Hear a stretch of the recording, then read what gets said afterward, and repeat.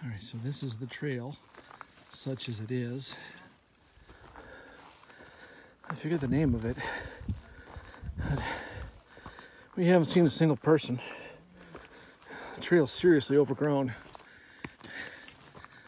Not hard to follow, but very grown up. We've seen praying mantis and lots of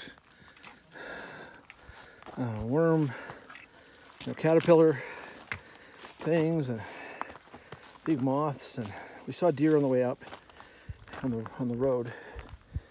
But, uh, yeah, it's very uh, it's a beautiful view. We're only gonna go half a more mile. Oh, there's thunder.